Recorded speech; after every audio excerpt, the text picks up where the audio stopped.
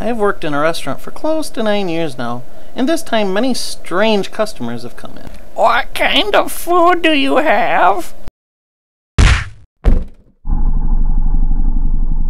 This was made wrong. My mother ordered it with no cheese. Uh, yeah, I took that order, sir. I'm sorry, I was never told about anything about removing cheese, but I. Are you calling my mother a liar, punk?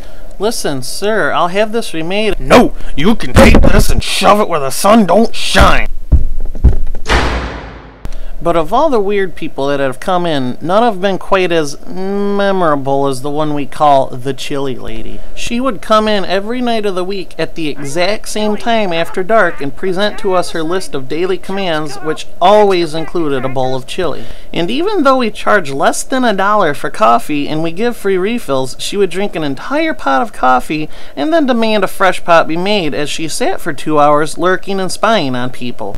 On top of that, she would bring in little paper bags and fill them up with the various creamers and condiments we have sitting out. At one point, she was even taking rolls of toilet paper out of our bathrooms with her every night, just after she would bomb our poor stalls with the ghastly, unholy demons that she harbors. Thankfully, her reign of terror came to a close when we remodeled the restaurant. She did not like the lovely scenes of Italy we had painted on the walls. It's too depressing. Nor did she appreciate the privacy wall placed in the center of the dining room.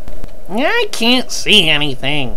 So after so many years of sucking the life out of all of us, she was finally driven elsewhere. Though those were her excuses for leaving, I still think she had left to find fresh blood.